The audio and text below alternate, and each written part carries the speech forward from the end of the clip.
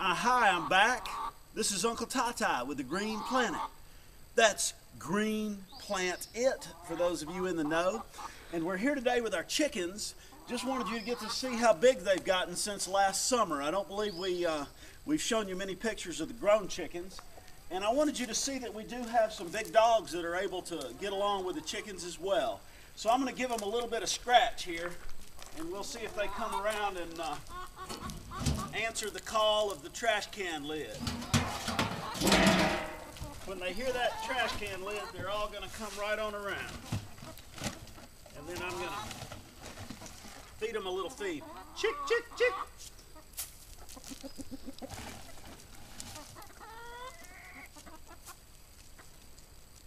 Perfect. All right, we're here at the garden here at Camp Woodmont, and I wanted to show you the garden now because we've done a lot of weeding and it looks really good. What's going to happen later on this summer is we're, we're going to have trouble keeping up with the weeds basically because the sun and the rain and the good weather is going to cause all the weeds to come up. But I wanted you to see these potatoes. These are Irish potatoes and you can see that we've gotten all the weeds out of this bed and these potatoes are going to be really nice. There's also a grape arbor right over here. We hope to get some grapes this year. And you can see the main garden area right back here. All right, we're in the main garden now, and I just uh, wanted to show you um, some of the sunflowers that we're growing here. These are going to be really, really pretty. They're going to have very large uh, yellow. Okay, we're in the main garden now, and I just wanted to show you these sunflowers right over here. Um, these are going to be really, really pretty when they finally bloom. They're going to have large uh, flowers that are yellow and orange with sunflowers, sunflower seeds in the middle. And we'll take those seeds and use them as feed for our chickens. So with the sunflowers will actually have a very useful benefit to our chickens. And this is one of our raised beds. We wanted to show you the raised bed and the pea plants that we have here.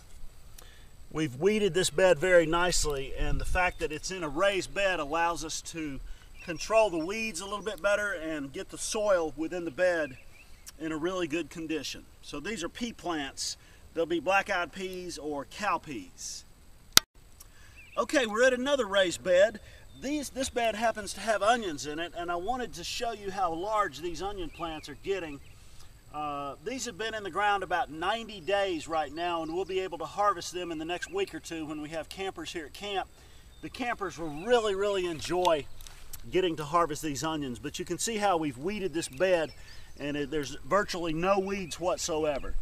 So I'm hoping to get some very large onions out of this bed. Here's another raised bed that has broccoli and cabbage and I wanted you to see how, how beneficial the um, the soil has done and, and caused this broccoli plant to grow really, really nicely. This is another raised bed that has um, lettuce and we're hoping to get some actual heads of lettuce in this bed. And to my right here we have some uh, tomatoes that are store-bought.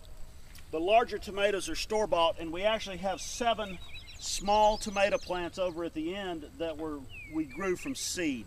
So we'll actually have some tomatoes later on this summer that we grew from seed that we planted back in late February or early March.